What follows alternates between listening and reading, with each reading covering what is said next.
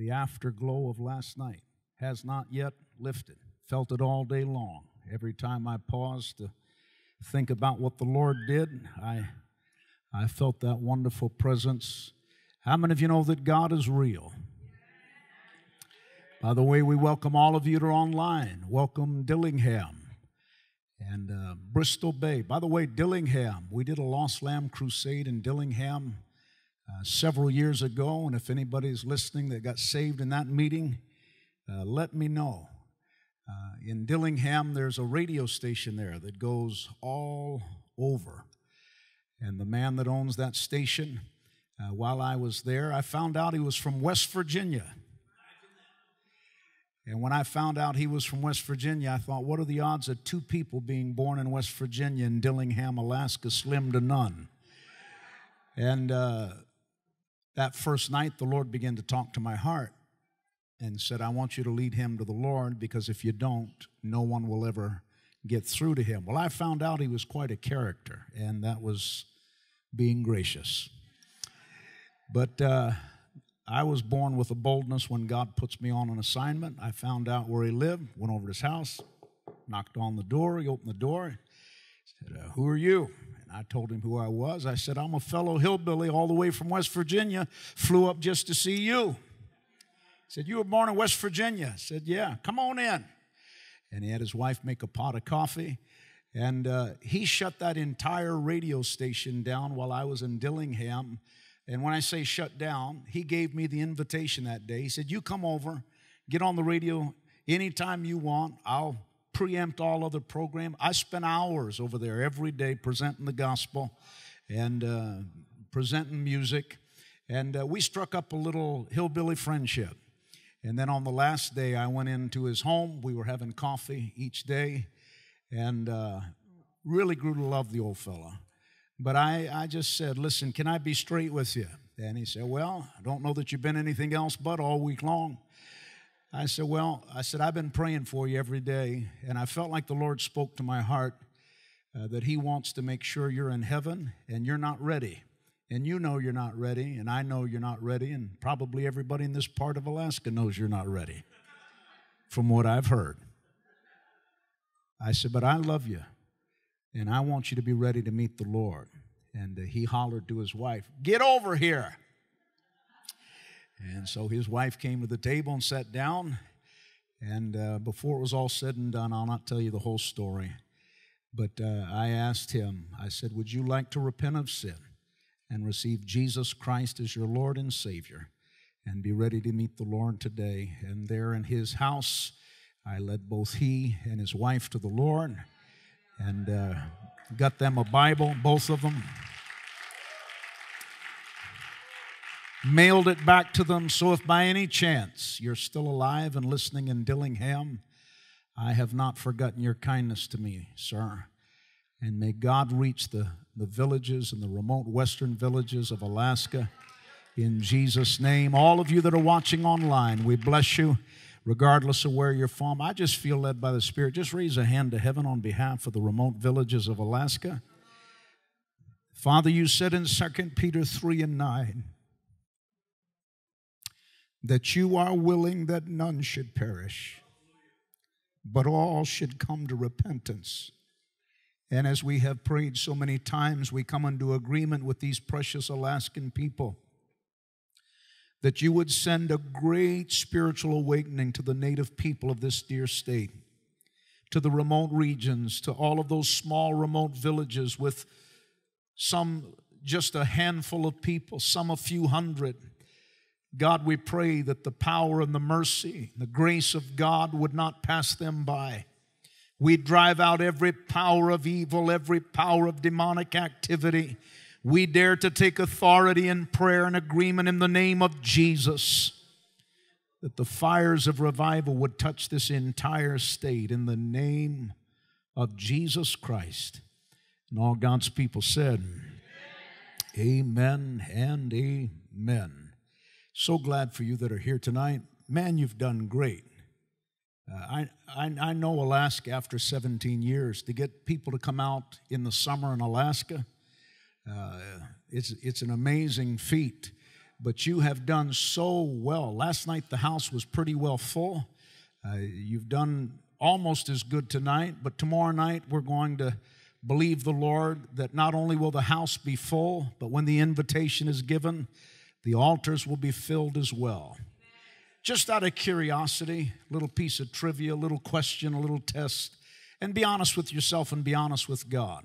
If I told you that I had a major donor that was connected to this ministry, and that tomorrow night that donor was going to do an experiment that for every person that brought an unsaved person to tomorrow night's service that I could give you a check for a $100,000, how many of you would make sure that you found somebody and got them into the house of God tomorrow night?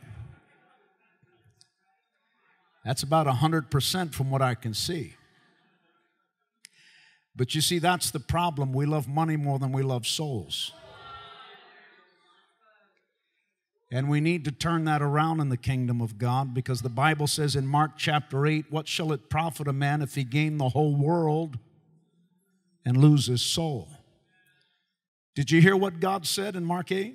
What does it profit a man if he gain the whole world and lose his soul? Or what shall a man give in exchange for his soul? Listen to what I'm about to say and don't ever forget it. In the economy of God's heart, one soul is worth more than the cumulative value of all of the stuff of earth. All of the gold, all of the diamonds, all of the precious jewels, all of the priceless artwork, architecture, everything of value on this planet added together, God said, one soul is worth more than that to me. Because stuff is temporary and souls are eternal. And the church has to have a revelation of that to continue to move in the supernatural power of God. Stuff is temporary, souls are eternal. So I'm going to pray with you tomorrow. Do your best to get a hold of somebody you know that needs the Lord. Get them into God's house. I'm preaching tomorrow night on the subject what happens five seconds after you die. What happens five seconds after you die? And I think you're going to be amazed at how much content there is in the Bible on that subject. And uh, the gospel will be clearly presented as it will tonight. Tonight we're speaking on five reasons why the church cannot go through the Great Tribulation. Just before we open the Bible, they're going to show you a brief vision video of Lost Lamb. And as you watch that, uh, just allow the Lord to speak to your heart, and then we'll get right into the Word of God.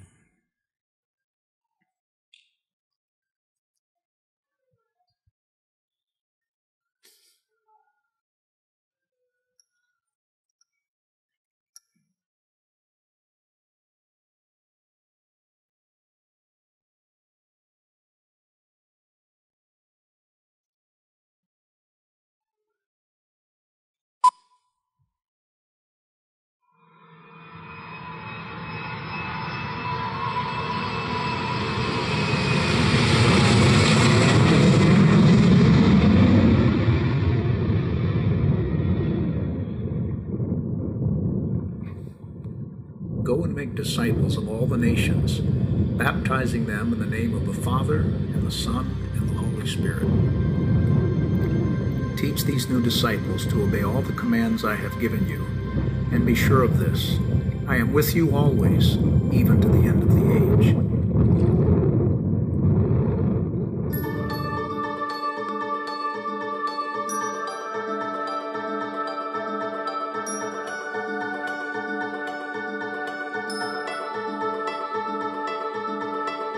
The Bible said, Go ye into all the world. All the world. Preach the gospel. That's what we're doing our best to accomplish.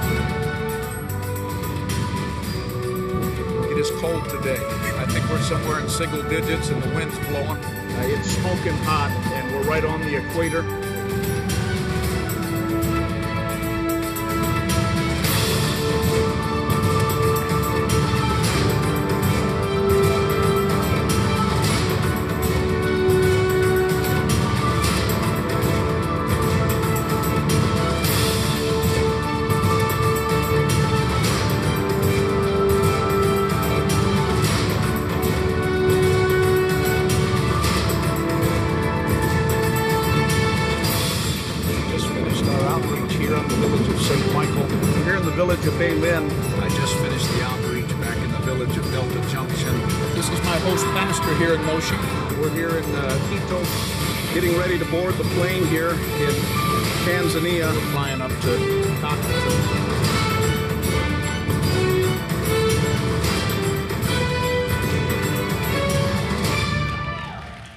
Amen.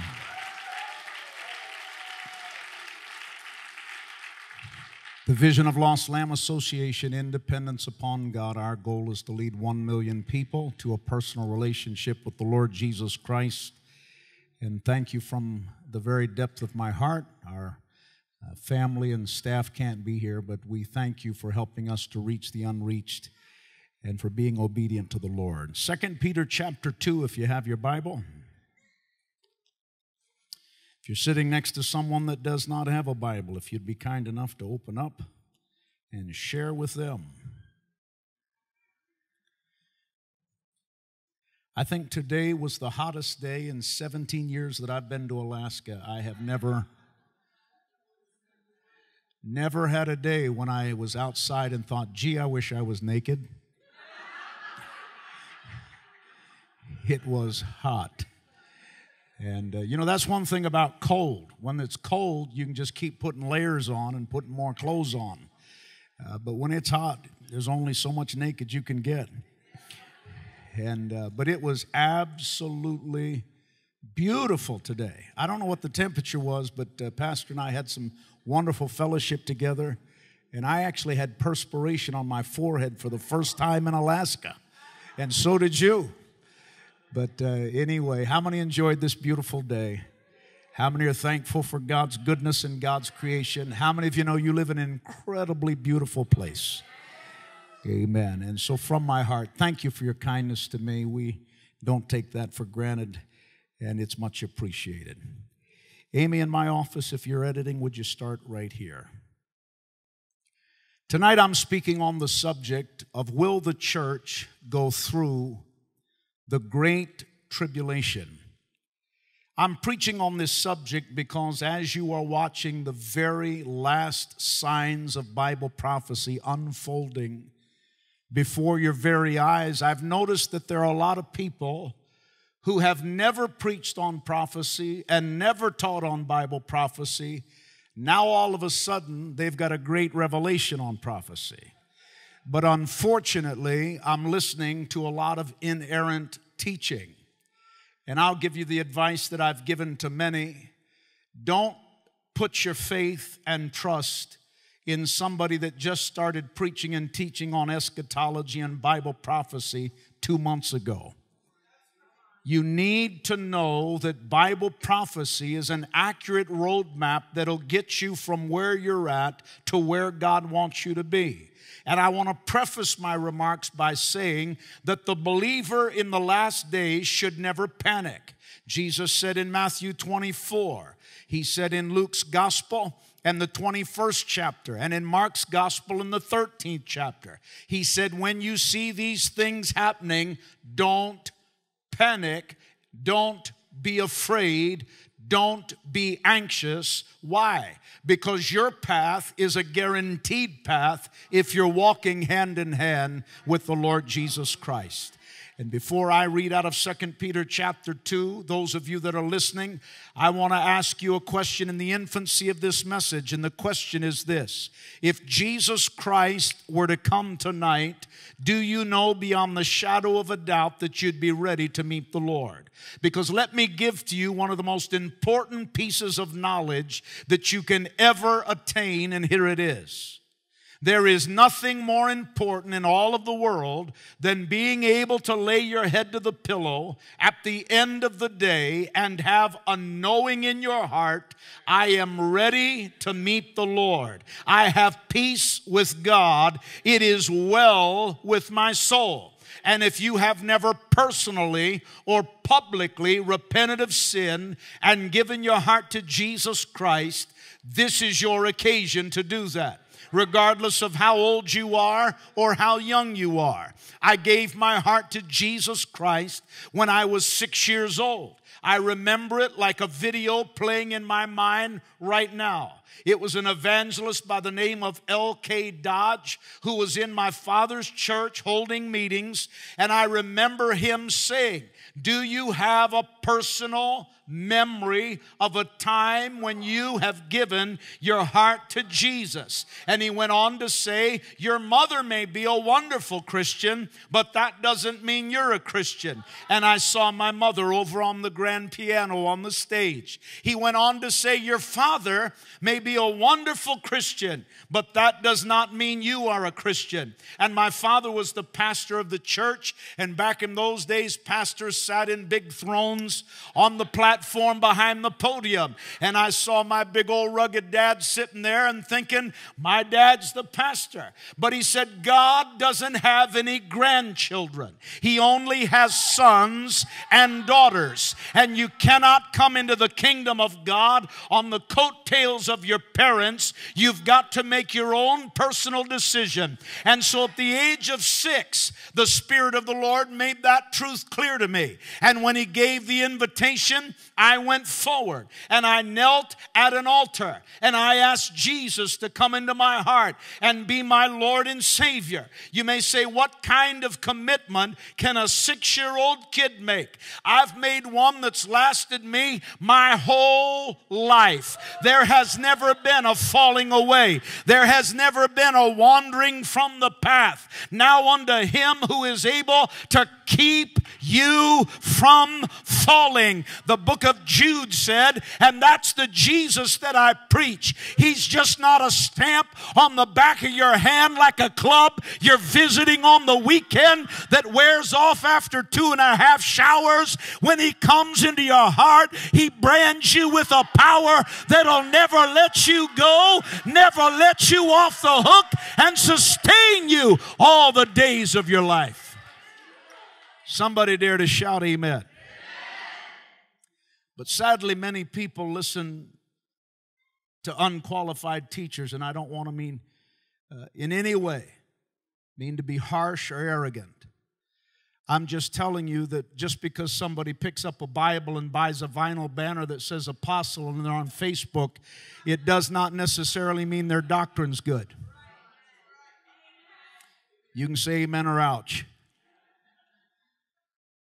But I'm going to walk you through the Bible and I'm going to dispute a lot of teaching that I'm hearing that is telling people that what we're seeing in our world and seeing in our nation is the beginning signs of the Great Tribulation and the arrival of the Antichrist is on its heels and so many things. It's one of the common questions in recent months that has come into our office and been directed to me personally as someone who's preached on eschatology for 40 plus years.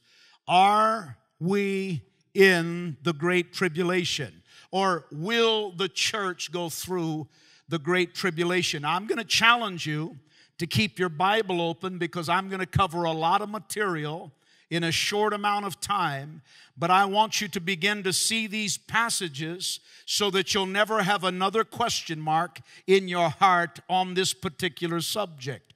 And we're going to start in 2 Peter chapter 2, beginning to read at verse 5. There the Bible said, And God did not spare the ancient world except for Noah and the seven others in his family. Noah warned the world of God's righteous judgment, so God protected Noah when he destroyed the world of ungodly people with a vast flood highlight he destroyed the world of ungodly people. Later, God condemned the cities of Sodom and Gomorrah and turned them into heaps of ashes.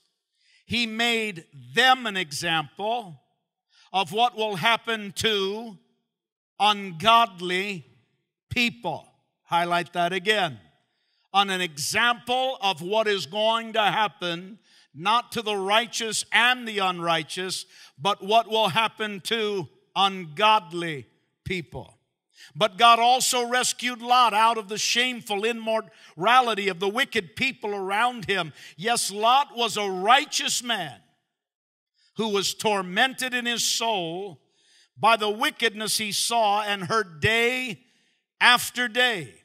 So you see, the Lord knows how to rescue godly people from their trials, even while keeping the wicked under punishment until the day of final judgment.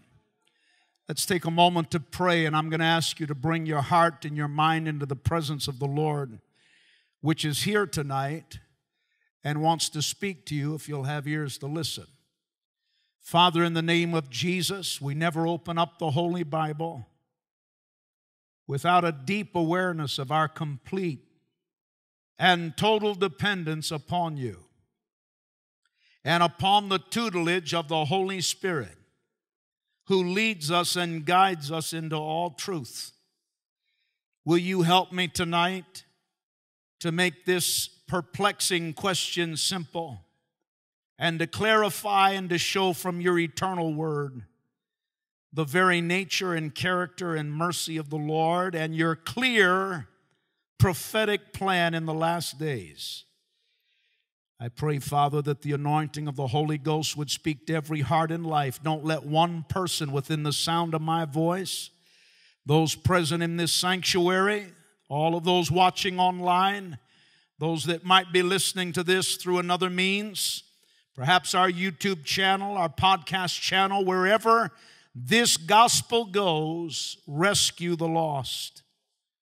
Let them feel your conviction and your love and your compassion. Draw them in before it's eternally too late. And in the moments to come, when I give the invitation, give them the faith and the courage and the humility to pray and to make today their hour of decision. For we ask it in Jesus' name, and all God's people said, Amen. Tribulation is a word that we rarely use in our modern society. It's actually taken in the Bible from a Greek word, and if you're a new student of the Bible, your Bible is a, a compilation of 66 books. The Old Testament was written in Hebrew, not the Hebrew that they speak today in Jerusalem and in Israel and various parts of the world, but it's a Hebrew language that's called a dead language. It's a Hebrew language that's no longer used. And so it is for the New Testament. Your New Testament manuscripts were written primarily in Greek and some in Aramaic. And the Greek in the New Testament is also a dead language. It's not the Greek that they speak in Greece and other parts of the world today. And so all of the truth of God goes back to Hebrew, Greek, and Aramaic. And that's where your Bible was translated from. I just want to help you with that because I've met a lot of people in my travels who were convinced that Jesus taught out of a King James Bible. But tribulation is one of those Bible words that we don't use, but from the Greek, it actually is taken from a word that means to crush grain under the weight of a heavy stone. The Greek word would have been very known to those who understood it from Bible times because the Greek word was that stone that was found in almost every village, every town, every community. It was a large, massive, round stone, and there in the granary, they would put the various grains in, and this massive stone would roll and crush beneath it everything into a powdery like substance. So I want you to have the same visual that this was intended to give to the listeners in the first century and prior. The great tribulation period that is about to come upon this earth is literally the wrath of God being stored up for judgment for all sin and ungodliness. And it's compared to a large stone that will grind people underneath its weight into a fine powder. It is not going to be God slapping the back of the hand, it is God crushing the ungodly without mercy and eternal damnation and wrath. Now, for all of you that only want to hear a preacher talk about God as if he wears a Santa suit and hands out peppermint sticks, you're listening to the wrong preacher. Because real love has two sides. Real love has a side, ask any mom. Find the nicest mom in Alaska. Find the nicest mom in Alaska. And then watch what happens to her if you slap her baby. She'll eat you alive, bones and all. There will be no mercy because real love has two sides. Real love has a side of deep passionate, faithful, loyal, unfailing love. But that same love, when it touches that which is sacred, will rise up and smite you without thought. And God is a God of love, but He is also a God, according to the Bible, of wrath and judgment. And the Bible said the sins of our current world are being stored up for a day of terrible wrath. And that's what the Great Tribulation is going to be. Now, I don't have time, obviously, and I believe most of you understand this, that, and I'm going to be finished tonight uh, before nine o'clock. But I don't have time in one single setting to do an exhaustive biblical and theological study of the Great Tribulation. But I am, if you'll put your gospel seatbelt on, going to cover an incredible amount of material in a short amount of time. So ask the Lord to help you. Now, I want to be honest with you because when I preach the Bible, I think people should preach the Bible and strip their personal bias out of it. I think when you preach and interpret and exegete scripture, you should take two steps back from whatever denomination you were raised in and ask the Lord, not what did my denominational leaders teach me, but what did the Holy Spirit intend to say through both text and context. So I'm just going to be honest enough to tell you that not all scholars agree on the exact unfolding of tribulation times. There is a and there are four main ones. I'm not going to go through all of them. Four main ones that you'll hear about. One is called pre tribulation, and that is that the rapture takes place before the tribulation begins.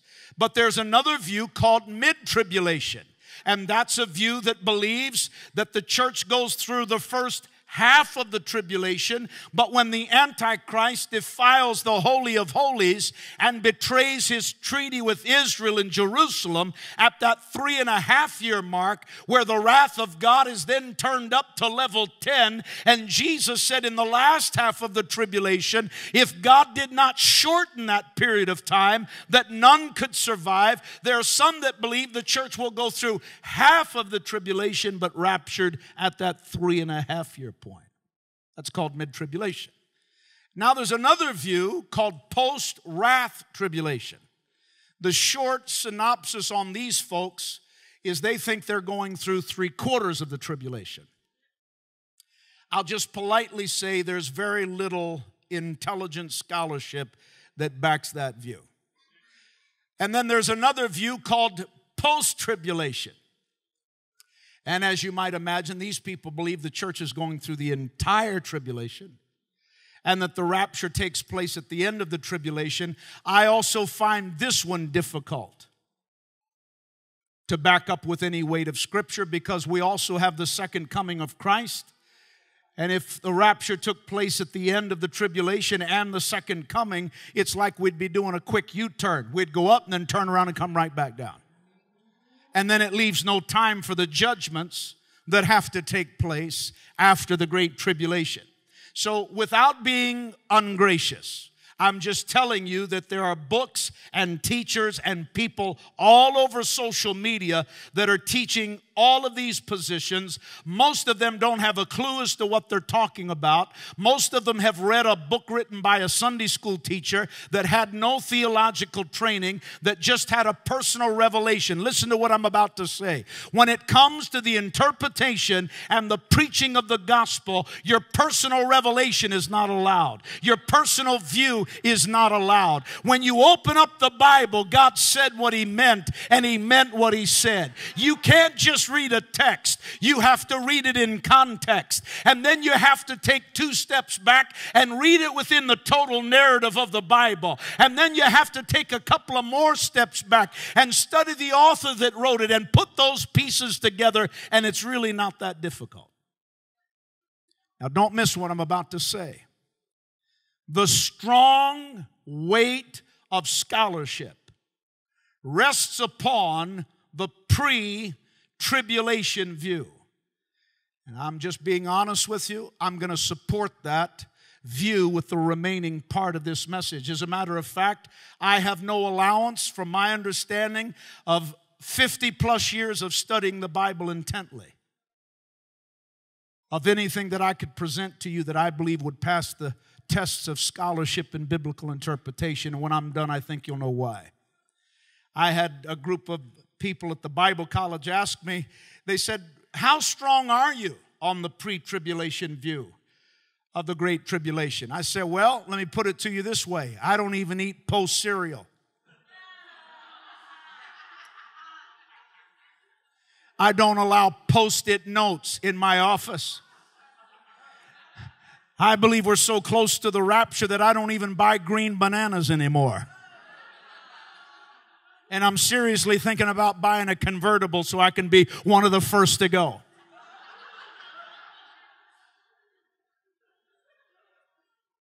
With that said, let me just give you a thumbnail of the chronology of coming Bible prophecy. And if you're taking notes, write this down. The next major event on the chronology of Bible prophecy is an event called the rapture of the church. That is the next major prophetic event on the calendar of Bible prophecy. The Bible calls it the rapture of the church. Now, I've had people that have come to me and said, You're a heretic because the word rapture is nowhere to be found in my Bible. About a year ago, I was here in the state of Alaska on the Kenai Peninsula, and I preached one night on questions on the rapture. And immediately after the service and the altar call, some man came up to me, wagging his finger, and said, You're a heretic, you're a heretic. You're a heretic. I felt like saying, You're ugly, you're ugly, you're ugly, but I'll keep my opinion to myself.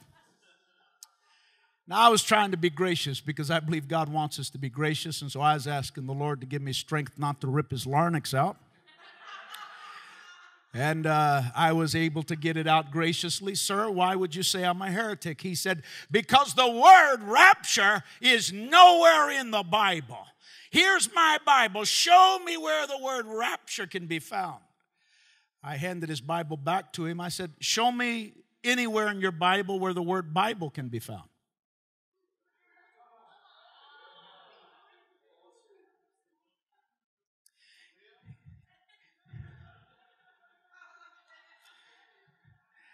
I'm just pausing to ask God to help me to continue to be gracious.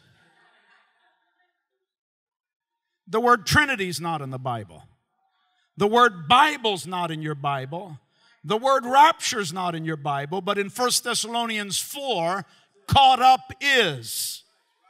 And the word rapture is just a theological term for being caught up or being snatched away.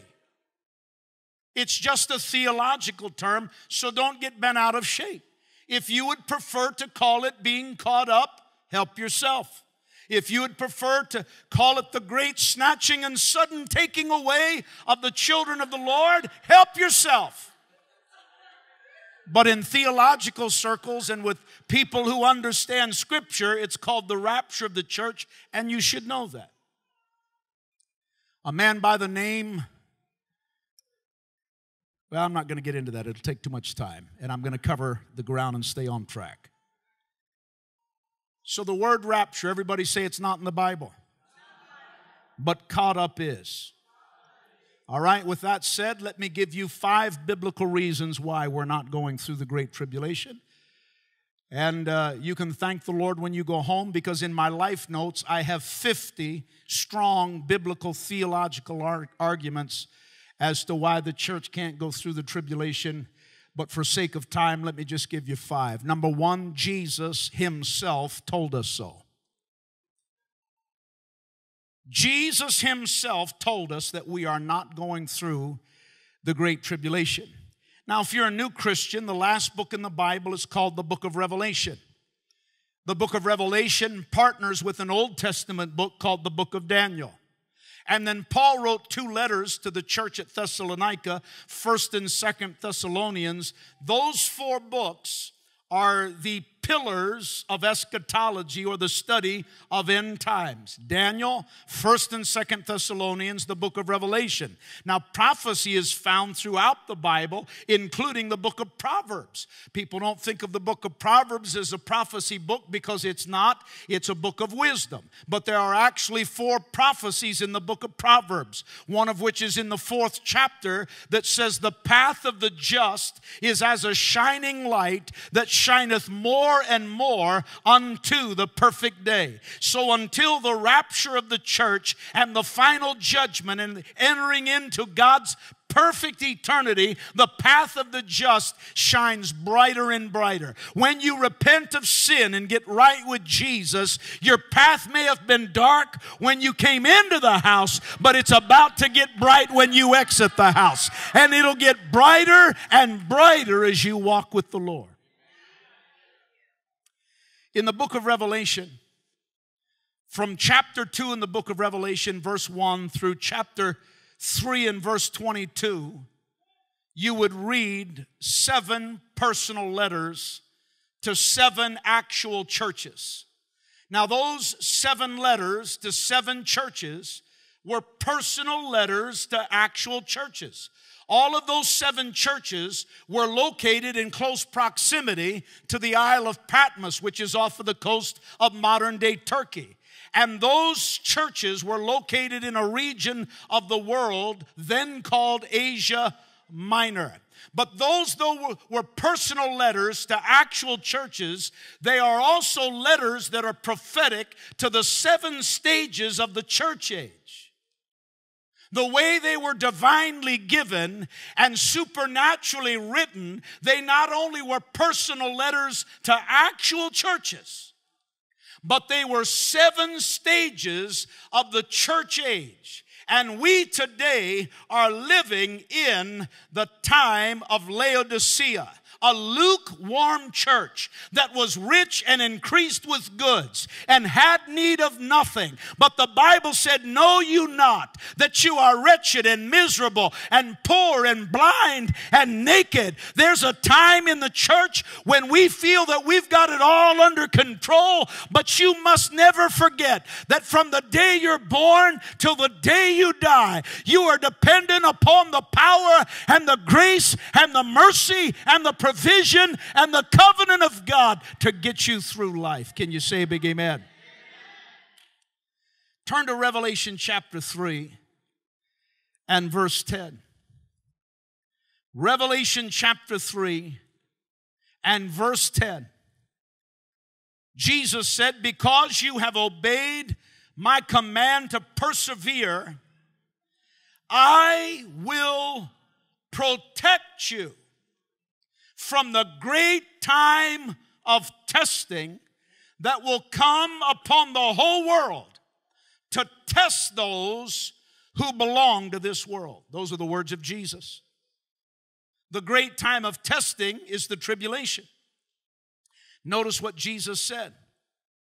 Because you've obeyed my command to persevere, those that endure, those that don't give up on God, those that don't backslide, those who don't trade their salvation for some alcohol and a night of sex at the local hotel, those who are faithful to the house of God, those who live faithfully and loyally to the commandments of Christ. Jesus said, Because you obeyed and because you persevered, I will protect you from, highlight the word from. I will protect you from the great time of testing that will come upon the whole world to test those who belong to this world. Jesus didn't say, and that word that I asked you to highlight, protect you from, the word from in the original language, it didn't say, I'll keep you through the tribulation or I'll keep you in the time of tribulation, but literally, I will keep you from the great tribulation. So, number one, Jesus himself told us and as long as we're in the beginning of the book of Revelation, turn to chapter 1 and verse 3. God blesses the one who reads the words of this prophecy to the church. That's me. No doubt it's one of the reasons why God has blessed Lost Lamb. No doubt. Not because of me, not because of gifts, not because of talents, not because of skills, not because of things I have done, but because for 40 years I have diligently been faithful to preach on Bible prophecy. There is a blessing to all who read the words of this prophecy to the church. Now, here's you. And he blesses all who listen to its message and obey what it says, for the time is near. The book of Revelation is the only book of 66 books in your Bible that guarantees a supernatural blessing from God to those who will pay attention to what it says. Following and listening to Bible prophecy releases a different level of blessing in your life, in your family, in your children, in your business, in your home. So I just wanted to encourage you tonight, even if this is all new to you, or even if this is somewhat confusing to you, just by hungering and respecting and making room for God and the Bible and a message on prophecy tonight, there is a special guaranteed blessing of God in the house tonight that comes upon you now like dew in the early morning that nothing can steal from you if you hear it and if you obey it. Number two, the book of Revelation told us. Think about that. The only book in the Bible that has an incentive for studying and reading, a guaranteed special blessing for those who study end time prophecy. I always tell people in my travels, I would love to be your trusted voice in Bible prophecy. Because as I grew in the things of the Lord, I had a trusted voice in Bible prophecy, a few. But it seems like in the last days there are less and less who have devoted their life to making sure this message is taught carefully and prayerfully. That's why I always honor pastors like your pastor who love their congregations enough to bring a voice into the sacred desk that preaches to the vision and deposits the seeds of Bible prophecy in the house churches that have pastors that are wise enough to bring in guest ministries that deposit the seeds of Bible prophecy into the house, deposit the supernatural blessing of Revelation 1 and 3, not only upon the house, not only upon the church, but upon all of the congregation who come and listen. If you believe it and receive it, would you shout a big amen? But the book of Revelation is also the only book in the Bible that gives us a perfect outline for its content. And that outline is found in that same first chapter as well, in the 19th verse. There, the Bible says, Write down what you have seen, both the things which are now happening and the things that will happen. There is the threefold outline for the entire vision given to John on the Isle of Patmos. Number one, the things which you have seen, if you're taking notes. And that's in chapter one. The things which thou has seen. All of that contained in chapter 1. And then it says the things which are. That's contained in chapters 2 and chapter 3. And then verse 19 said, and the things that will happen or the things that will be. And that begins at chapter 4 and goes through chapter 22. So the entire outline of the vision is given in simplistic form because I believe that God wanted every Christian, regardless of level, to begin to understand at least the fundamentals of Bible prophecy. Don't miss this. The word church is found 19 times from the Greek ecclesia. It's found 19 times in the first three chapters of the book of Revelation. Don't miss this solid gold to understanding the book of Revelation. The word church from the Greek, ecclesia, found 19 times in the first three chapters of the book of Revelation. But it is never found again until the closing salutation of chapter 22 at the end of the book. Why? because it's not there. Chapters chapter 4 through chapter 19 in Revelation deal with the unfolding events, the judgments, the plagues, the destruction, and the apocalyptic horrors of the Great Tribulation. All of the Great Tribulation. It begins in chapter 4 and goes all the way through chapter 19. But not one time is the word ecclesia in the original or the word church in proper translation. Not one time is the word church found after Revelation chapter 3 and verse 22. Not one time. How many of you know that God knows what He's doing? How many of you know that God gave us the Bible? Perfect, inerrant, infallible. An intelligent scholar has to ask themselves a blank question Why would God not include the word church or any reference to the church from chapter 4 through chapter 19 during the entirety of the unfolding of the Great Tribulation? The last time the church is mentioned is Revelation 3 and verse 22. One of the great prophecy scholars that is in my library, his name is Dr. Richard Mayhue.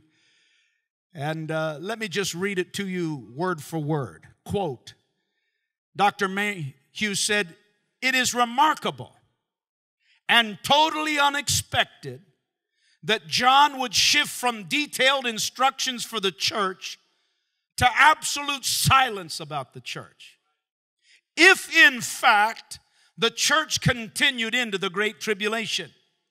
If the church will experience the Great Tribulation, then surely the most detailed study of tribulation events would include an account of the church's role. But it does not, because the church is not there. End of quote. Now, many of my friends that are scholars and have PhDs and even professors at the Bible college that I chair in discussion sometimes, and this is a common question that gets addressed to me. Uh, well, Tiff, how do you explain persecution and tribulation? Some have even gone as far as to say, how convenient for you to say that the church isn't going through great tribulation because you live in America, whereby in recent history they have not seen tribulation in America. But around the world, the church has been in tribulation. The church has been in horrible persecution. Christians have been burned alive, they've been beheaded, they've been tortured, they've been eliminated. They've been exposed to things unspeakable in public viewings like this. How convenient for you to say that the church isn't going through the great tribulation. Only a preacher in America would say that. Well, that's a good question. But how many of you know that in intelligent debate, you don't have to run away from intelligent questions? So, is there anything in the Bible that would answer that? Because that is, listen, that is perhaps the strongest argument that all of the other views use to introduce their view. Well, it's inconsistent to preach or to teach pre tribulation because throughout church history, the church has gone through tribulation and persecution and does to this day. They're being killed in countries I could name as I speak.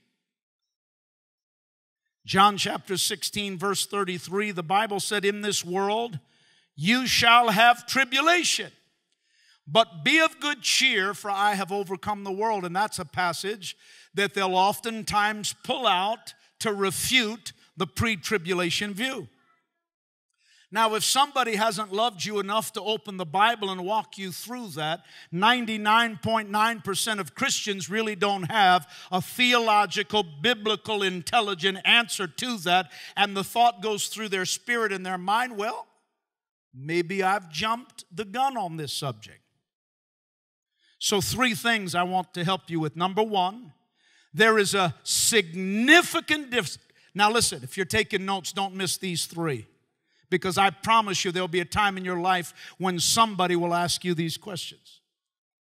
So, number one, there is a significant difference between the historic persecution and tribulation the church has endured and the great tribulation prophesied in the book of Revelation. Significant difference.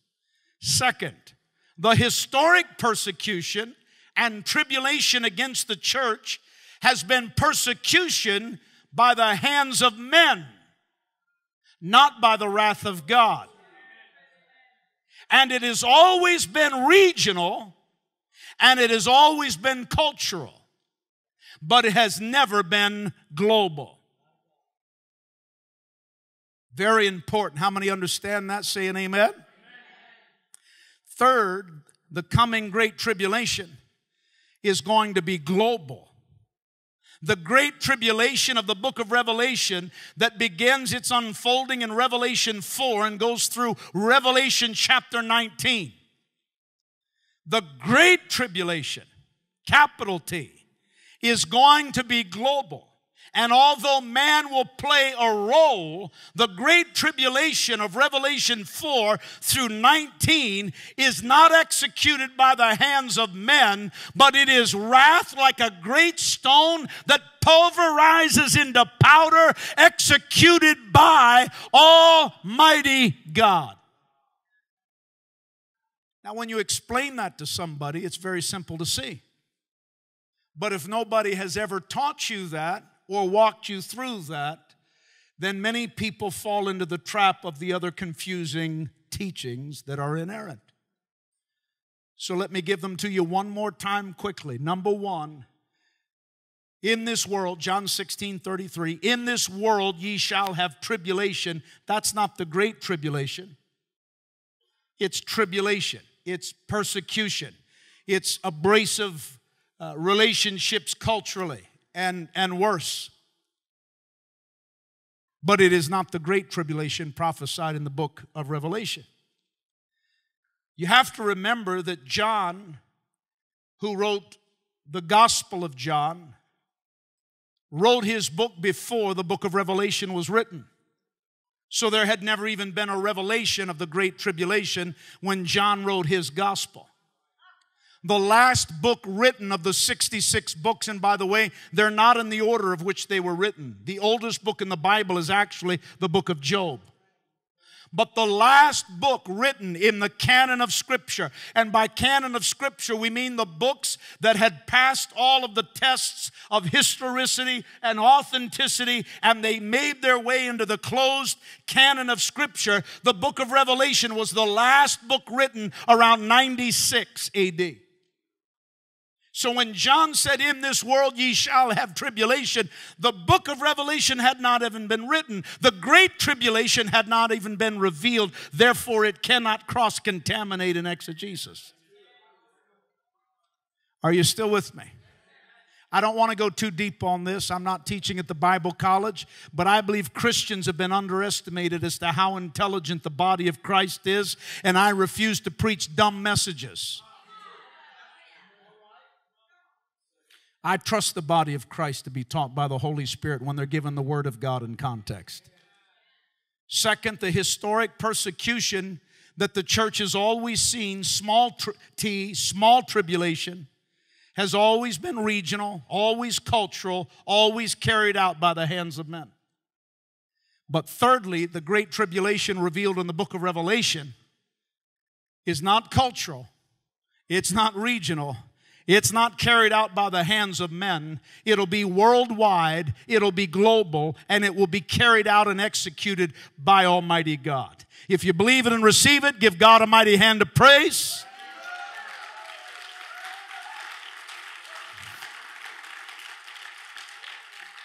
in the entirety of the New Testament, in the entirety of the New Testament, there is not one single passage to warn Christians of the coming great tribulation or any instructions on how to prepare for it. If God had planned for the church and for his bride to go through any or all of the great tribulation, isn't it incredibly insensitive and odd that he didn't give one single instruction, one single warning, one single word of encouragement, one single word of preparation, one single word of advice for your families and for the bride of Christ to go through such a horrible period? And the reason that he didn't is obvious to all. The church is not going through. He's not going going to allow his bride to be beaten, beheaded, and bloodied and bruised. The bride will be pure and white and holy and undefiled. Praise God. I got to move quickly. Number three, every Bible example told us. Number one, Jesus told us. Number two, the book of Revelation told us. And number three, every Bible example told us. Now, if you were to go to seminary or Bible college, you'd take courses called typology. And a type taken from the Greek word typo simply means a person, an event, an institution in the redemptive history of the Old Testament that prefigures a corresponding greater reality in the New Testament. A type is a copy, a pattern, a model that signifies a greater reality. say, where in the world is that taught? Hebrews chapter 10, verses 1 and 2. The Bible said the old system under the law of Moses was only a shadow, a dim preview of the good things to come not the good things themselves. The sacrifices under that system were repeated again and again, year after year, but they were never able to provide perfect cleansing for those who came to worship. If they had been provided for perfect cleansing, the sacrifices would have stopped, for the worshipers would have been purified once and for all time, and their feelings of guilt would have been disappeared. So, typology is actually taught in the Bible. Let me just give you a handful, and again, pardon me for running through this. Uh, this would be a subject I'd love to do an entire week on. And even then, I wouldn't be able to cut the meat off all of the bone. But number one, Enoch. Enoch in the Bible was a type of pre tribulation. He was transferred to heaven before the flood. Methuselah. How many of you know that Methuselah was the oldest man on the face of the earth? That was Noah's grandfather. Methuselah's son Lamech was Noah's father. The name Methuselah means, and by the way, Methuselah was named by a prophet of God. When Methuselah was born, a prophet came to the home and said, His name shall be Methuselah. Because Methuselah in the Hebrew means judgment comes when he dies. That's what Methuselah means in the Hebrew. When he dies, judgment will come, or judgment comes when he dies. He lived 969 years. This is a sermon even in its own weight. but don't miss it. God allowed him to live longer than any other man because the judgment of God always allows for the largest window of mercy possible. Some scholars tell us that Methuselah died seven days before the flood. Noah's grandfather Methuselah, whose name was given by a prophet at birth, his name meaning when he dies, judgment follows, judgment comes, dies seven days before the flood. And God gave him seven days because the ritual was seven days of mourning. So Methuselah dies, the prophet has to be carried out as the word of the Lord. When he dies, judgment comes. God allows him 969 years, the longest man who ever lived, giving the opportunity for grace and mercy and redemption to a world gone bad. The longest window of mercy ever extended. But when he died, the word of the Lord has to be fulfilled. God allows the righteous seven days for mourning this man's life and then the flood. It's interesting to note that both Lamech and Methuselah were alive when Noah was building the ark, but God took them both home before the flood. Because God always rescues the godly before judgment. And then even Noah. Noah and the ark is a type of the pre tribulation. What was the ark made out of? Wood. It's a type of the cross. How many doors did God tell Noah that the ark was allowed to have? One and only one. Why? Because there's only one way to be right with God. Jesus said, I am the door. Jesus said, I'm the way, the truth, and the life, and no one can come to the Father except through me. Just as the only way onto the ark was through the one door, the only way to the ark of God's forgiveness and safety and salvation is through the door Jesus Christ. Acts chapter 4 and verse 12 Neither is there salvation in any other, for there is no other name under heaven given among men whereby we must be saved. And when the floodwaters of judgment broke from the depth of the earth and rained down from the sky, the entire world was flooded and destroyed. What happened to the ark when judgment came down? The righteous went up. They rose above the floodwaters of judgment. Even the story of Noah and the ark is a type of the pre tribulation chronology of God. How about Lot and his family? Lot and his family were in a wicked world called Sodom and Gomorrah, but before God sent the fire of judgment, he sent an angel. Genesis 18, verse 25. Surely you wouldn't do such a thing, destroying the righteous along with the wicked. This is Abraham having a discussion with God about the destruction of Sodom and Gomorrah. And Abraham's negotiating with God.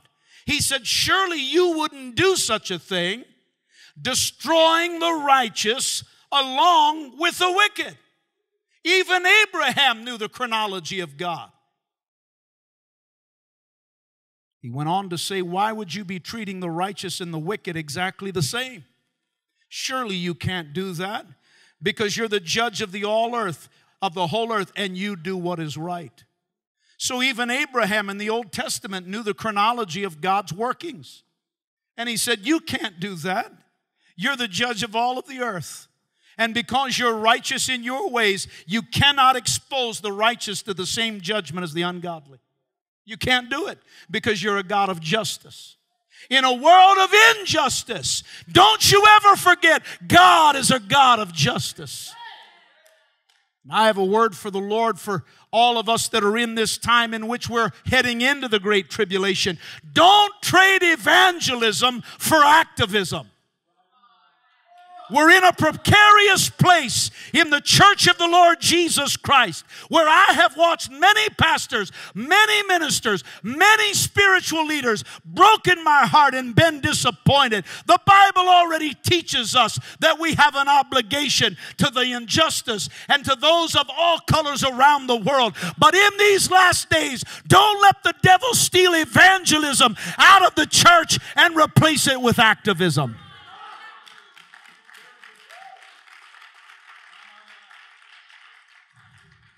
God knows how to take care of this world.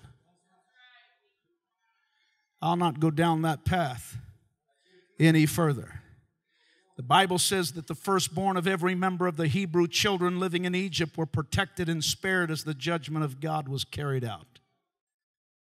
Though judgment fell on the ungodly, all of the innocent were protected and rescued. I can't believe that it's three minutes till the top of the hour. How many would be gracious to give me a few more moments? Matthew chapter 13, verse 27.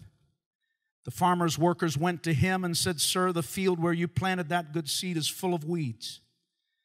Where did they come from? An enemy has done this, the farmer exclaimed. Should we pull out the weeds? They asked. No, he replied, You'll uproot the weed if you do. Let both grow together until the harvest. Then I will tell the harvesters to sort out the weeds, tie them into bundles, and burn them, and put the wheat in the barn. At harvest time, God always separates the wheat from the tares. Pardon me for trying to bite this all off in one night. I move quickly. Number four, the love of God told us. John 3:16 For God so loved the world that he gave his only begotten son that whosoever believeth in him should not perish but have everlasting life. The apostle Paul assured his readers that once they had repented of sin and received the gift of salvation, they had no more reason to ever fear the judgment of God. Romans chapter 8, verse 1, Paul said, There is no condemnation for those who belong to Christ. The purpose of the Great Tribulation is twofold. Somebody asked me that question not long ago. Very intelligent minister friend of mine. He said, Do you believe that there's some specific purpose for the Great Tribulation? I said, Actually, biblically, there's two very distinct reasons for the purpose of the Great Tribulation. The first is to purify Israel and the Jewish people. Don't ever forget this in your understanding Bible prophecy. Bible prophecy primarily is not about the church, it's about Israel. It's about the Jewish people. Fundamentally and firstly, Bible prophecy is about God's original covenant to the Jewish people. We've been adopted through the cross of Christ, according to Galatians chapter 3. The Bible said, Who are the true Jews? Those that have received Jesus Christ and repented of sin, are adopted into the family. There is neither male nor female, there is neither Greek nor Jew, and so on. The Bible tells us that through Christ we were adopted into that perfect covenant. Don't have time to go down that road. But the purpose of the Great Tribulation twofold. Number one, to purify Israel and the Jewish people. And secondly, to execute final, complete, and total wrath upon the ungodly once and for all. Those are the two reasons. The Great Tribulation will be a time to execute wrath and judgment on all who rejected God and His Son Jesus Christ. Believers have not rejected God's love. Believers have not rejected the forgiveness of the Lord. We've not rejected the mercy of the Lord. What would be the logical or spiritual point of having his children endure the punishment of the great tribulation after he sent his son Jesus to endure our punishment on the cross? It does not make neither logical nor theological sense. For God to tell us that he sent his only son to redeem us from judgment and then to drag us through the worst judgment in human history.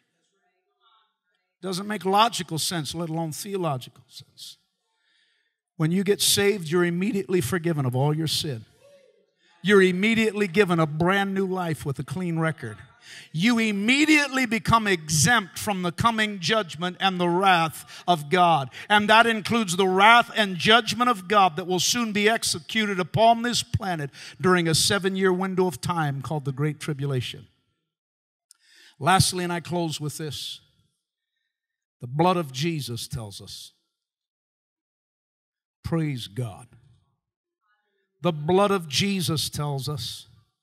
Romans chapter 5, verse 9, much more than having now been justified by his blood, we shall be saved from wrath through him. For if when we were his enemies, we were reconciled to God through the death of his son, much more, having been reconciled, we shall be saved by his blood. When God sent his son and allowed him to be crucified on the cross, there the sinless Lamb of God paid for the penalty and the full penalty of all our sins. Second Corinthians 5 and 7. If any man or woman comes to Christ, they become a brand new creature. Old things pass away and all things become new. There is no more judgment upon the believer, for the blood of Jesus Christ did the work completely. Old things passed away, all things become new. Old things passed away, all things become new. The moment you stand at this altar with me tonight and repent of your sin and by faith receive Jesus, you have a new life in Christ, and there is no more judgment upon your name or upon your title. The blood of Jesus tells us. I love that old hymn. Jesus it all, all to him I owe. Sin had left a crimson stain. He washed it white as snow. Jesus paid it all, all to him I owe. Sin had left a crimson stain. He washed it white as snow. Give the Lord a mighty hand of praise.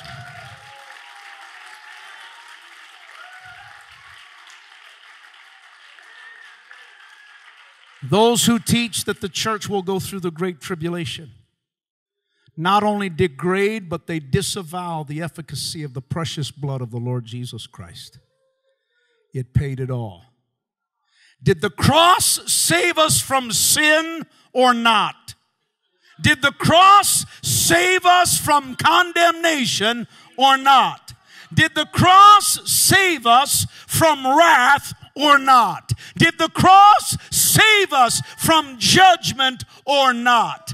One scholar wrote, quote, one is forced to ask, how could the Lamb of God die and rise again to save the church from wrath and then allow the church to go through that wrath that he'll pour out on those who reject him.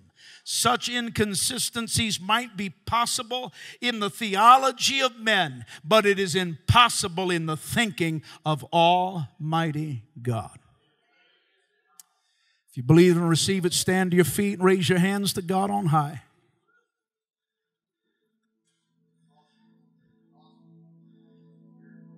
out loud say, Thank you, Father, that I have been cleansed, forgiven from all sin.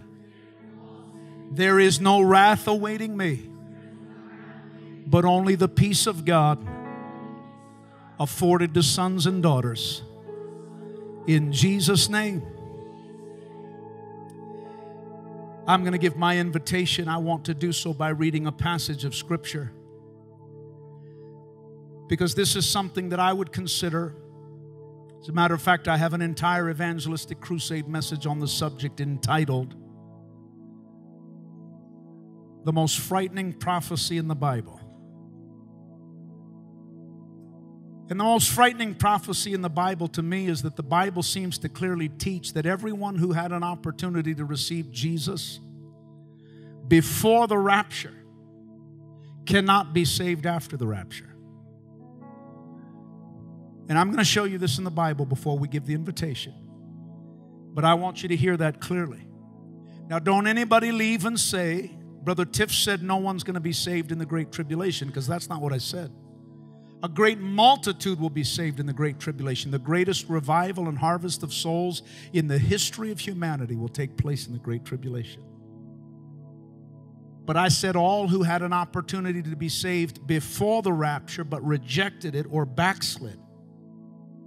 And the rapture takes place, there is no way for you to be saved after the rapture. And I've heard many through the years say, well, you know, at least if I miss the rapture, I know enough about the Bible, I'll not take the mark of the beast. I'll die before I take the mark of the beast because I know what that means. That means the wrath and judgment of God and hell forever and forever. First of all, let me ask you just a straightforward civil question. If you didn't have the strength to live for Jesus this side of the rapture, thank you, Lord, for helping me with that.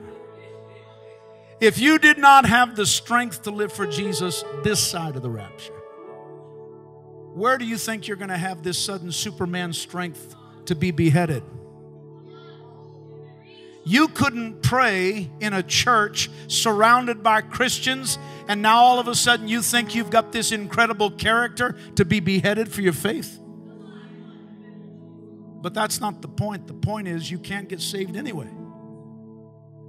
If you had a clear opportunity to be saved before the rapture, but you rejected it, and I'm not talking about everybody that heard the Bible on the radio or TV or the internet, but people who have heard the preaching of the gospel clear and strong and have felt the calling and the conviction of the Holy Spirit and are given an opportunity to receive Christ but walk out the back doors in five minutes and reject it.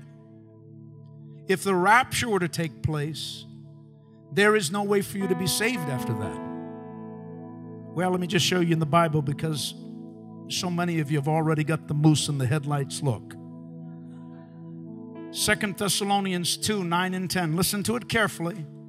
This man, speaking of the Antichrist after the rapture, this man, the Antichrist, will come to do the work of Satan with counterfeit power and signs and miracles. And he will use every kind of evil deception. How many of you remember when I taught you on Bible prophecy, always, always highlight the word deception? How many remember that? Key tool of the Antichrist as well he, the Antichrist, will use every kind of evil deception to fool those. That just simply refers to a group of people. He's going to fool a group of people, fool those who are on their way to destruction. So there's a group of people that are on their way to destruction. Why are they on their way to destruction? Because they refuse to love and accept the truth that would save them. Refuse, past tense. You can't refuse something unless you had an opportunity. And you refuse the opportunity. What's the opportunity? To love and to accept the truth that would save them. So, this is one passage in the Bible that makes it seemingly.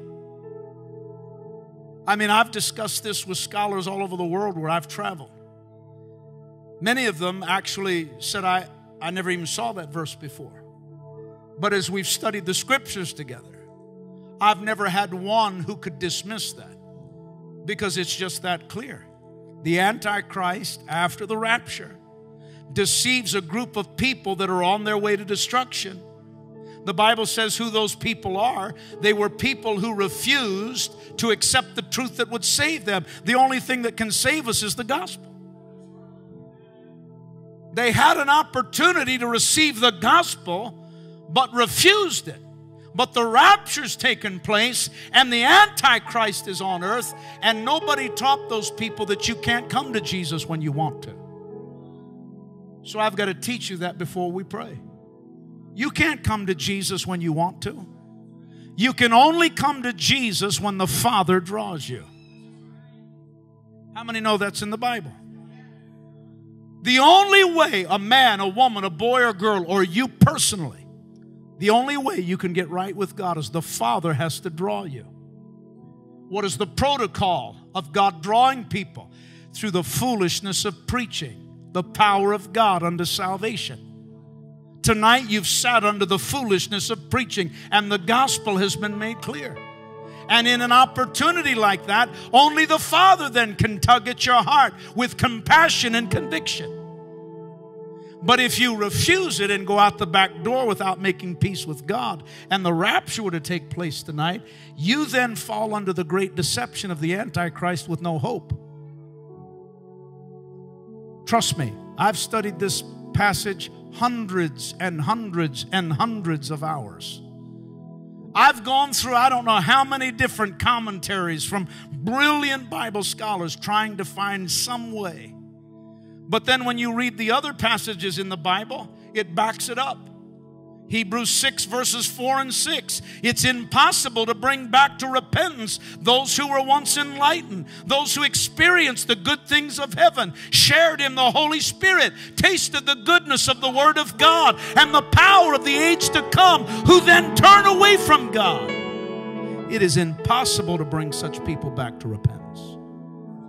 For by rejecting the Son of God, they themselves are nailing him to the cross once again and holding him up to public shame. You see, proper biblical interpretation, there has to be more than one passage. Hebrews 10 26, dear friends, if we deliberately continue sinning, after we have received a knowledge of the truth, there is no longer any sacrifice that can cover these sins. There is only the terrible expectation of God's judgment for the raging fire that will consume his enemies. Now, I know that's heavy. I know that's heavy. Even as I've preached it, and I've preached it for 40 years, every time I take a moment to try to explain that to an audience, I feel the weight of that in my spirit, man. I mean, literally. It's a frightening passage. To me, it's the most frightening prophecy in all of the Bible. That those who had an opportunity where the invitation of the Holy Spirit by the calling of the Father called them to a place to get right with God, and they walked out the back door of a service like this in America where you have the freedom to come and kneel and pray without persecution, and hundreds of people who rejoice with you that you're making things right. The Bible says the rapture takes place in the twinkling of an eye a group of engineers at General Electric calculated that at one twelve thousandths of a second. That's a group of men with far too much free time on their hands. The twinkling of an eye. Well, you know what that means to me? That's not enough time to pray. That's not enough time to repent. That's not enough time to go on YouTube. That's not enough time to call your pastor, and any pastor left behind is not worth talking to anyway. They're going to hell just like you are. That is how quick. When the rapture takes place, you will either be taken or you'll be left behind. And the decision of your eternal address has to be made under the anointing of the preached gospel by the calling of the Father and a humble heart that says, I'm a sinner. Forgive me. Come into my heart. Be Lord and Savior. I want you to do that tonight. Some of you that'll pray with me, it might be the very first time you've ever prayed a sinner's prayer. Trust me, this preacher loves you. I preach like this because I don't want you to go to hell. I take time to extend the invitation and follow the pull and the pulse of the Holy Spirit because I sincerely want to be able to go to bed tonight without thinking I rushed that because I was concerned about this, that, or the other. I care about you. I love you. This pastor loves you. Pastors don't hold meetings like this unless they love the lost. How many churches in Alaska are having church every single night to gather in the last day harvest? knowing that we're watching final Bible prophecy fulfilled all around us. This is a special house, this is a special time, and you're in a special place, and tonight's your special night. I'm not going to embarrass you. This isn't about becoming Protestant. This isn't about becoming Catholic. This is about becoming right with God. This is about receiving Jesus Christ. This is about being ready to meet the Lord. This is about forgiveness through the blood of Jesus Christ. And I'm going to ask you in just a moment to come to this altar and to pray with me publicly. People always ask me, why do you always ask people to pray with you publicly? I had a news reporter in a big crusade ask me, Do you really feel like there's something special about you that if people walk up and surround you, you know, cocky little question, and I asked God for grace. So It has nothing to do with me. Jesus said, and this is exactly what I told her. I said, I do it because Jesus said in Luke chapter 12, if you confess me publicly before men, I'll confess you publicly before my Father which is in heaven. But if you are ashamed of me before men, I'll be ashamed of you before the Father and the angels. Everybody Jesus called in the Bible, he called publicly. Every apostolic sermon in the Bible, they called the people publicly these churches that don't have a backbone to give an invitation for people to be saved and say, just stand right there. You don't even have to move your lips. Just think it in your head. Let me tell you something camouflage prayers produce camouflage Christians, and Jesus isn't returning for camouflage Christians.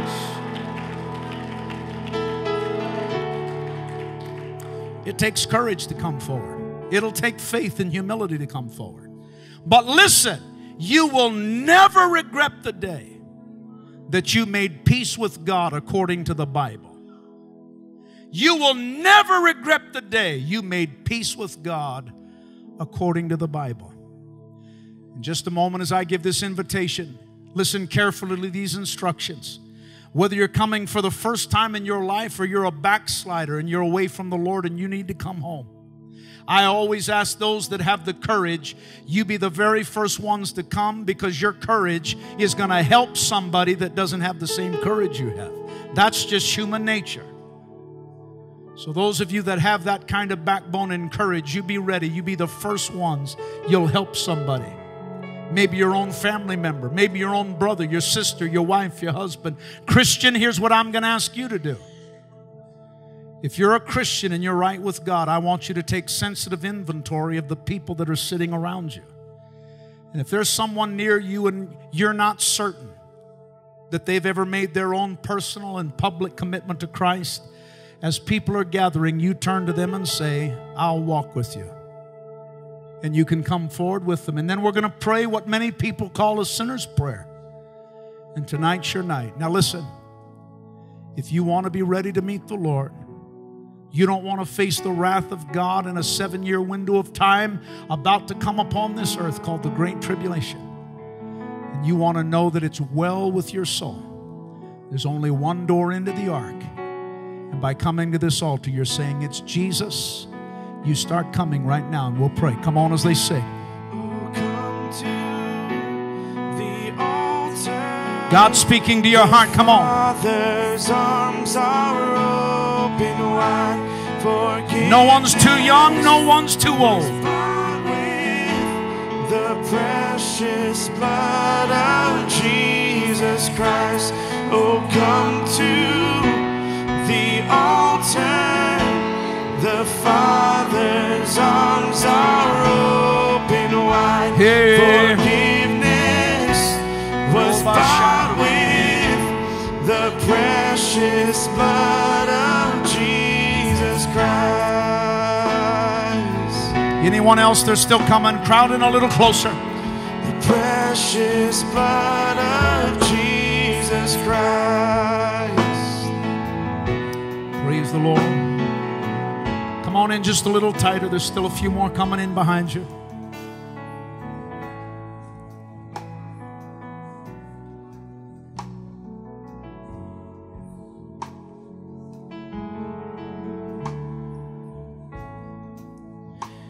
When I walk down the aisle into this sanctuary tonight and I walk by you, I knew 100% in my heart tonight was your night. And the only reason I'm singling you out is there's something that's gone on in your life that's made you think that this could never be possible. But there literally is a power in Jesus Christ where you're going to become a brand new person and you'll never be the same. And when the Bible said old things pass away, it means everything in your past. None of it goes forward with you from this day forward.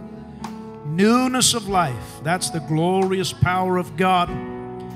Those of you that are at this altar, pray this prayer out loud from your heart. Listen, you're not praying to me or with me, you're literally talking to God. The only reason I ask people to pray a prayer with me is because I meet multiple thousands of people in my travels that have never been to church, don't know how to pray, wouldn't even know where to begin. But the Bible says, not me, God, the Bible says, all who call upon the name of the Lord shall be saved. That's God's eternal promise. Just close your eyes and talk to the Father and say this Heavenly Father, tonight as I was listening to the Bible, you were speaking to me. Down deep in my heart, I want to be a real Christian. I want to live ready. In these last days, keep me ready for your soon coming. I admit my sin. The Bible said all have sinned, and that includes me. But tonight I'm trusting in your grace. I trust in your mercy. I'm trusting in the cross and in your Son, Jesus. Forgive me. Wash me in the blood. Cleanse me. Make me holy in your eyes. Cleanse my mind. Cleanse my body. Cleanse my spirit. Make me holy and pure. I receive Jesus Christ and the gift of salvation and I surrender my life to you, to your will, to your ways, and to your eternal word. In place of my weakness, give me your strength. Fill me with the Holy Spirit. I vow this night I will serve the Lord. No turning back. I ask you to help me to win my family to Jesus, to win my loved ones to Jesus.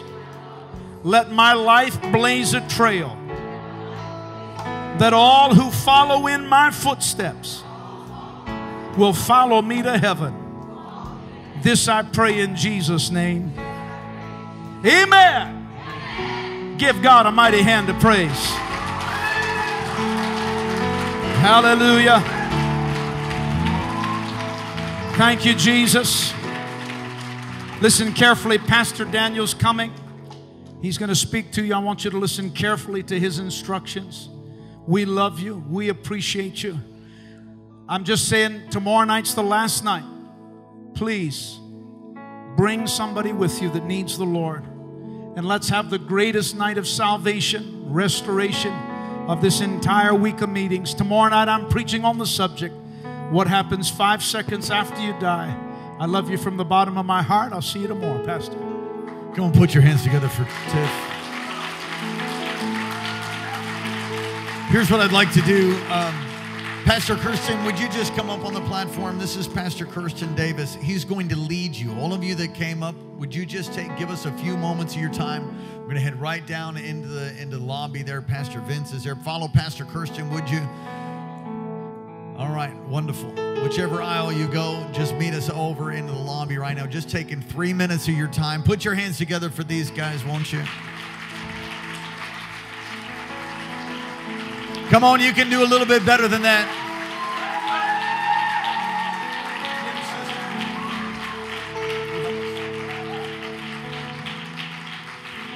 I've got leaders and people helping out there. You may be seated. Wonderful.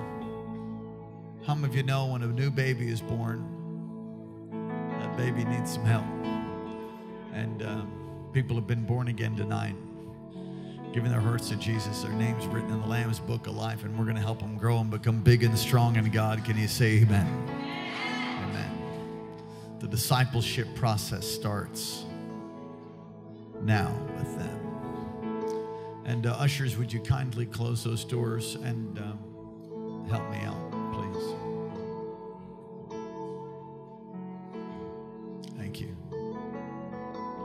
We're going to go ahead and give into the ministry of Lost Lamb Association Evangelist Tiff Shuttlesworth. The entirety of this gift will go, the entirety of your offering will go into that ministry. We send them with one check for all of these different meetings. If you're not prepared to give tonight, you can give tomorrow night and uh, you can give online. There's four different ways, in fact, to give. You can give through the website, you can give through the app, and you can give through uh, text to give. There we go. Website, app, text, or the uh, envelope. Ushers, would you help us out, please? Thank you.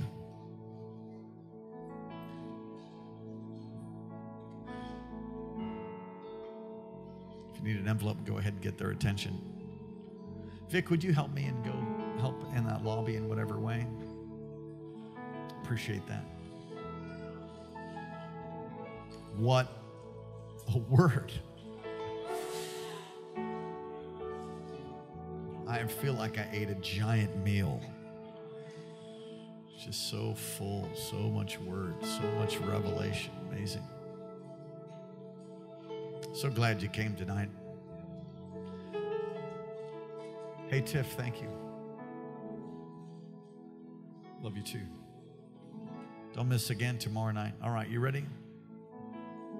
This is our way of showing love, and it's a biblical thing to do. All right, ushers, would you come? Glad I'm saved. Hate to be crushed to powder by some tribulation stone. Come on, somebody say hallelujah. I'm not going to backslide either. How about you? You ain't going to backslide either.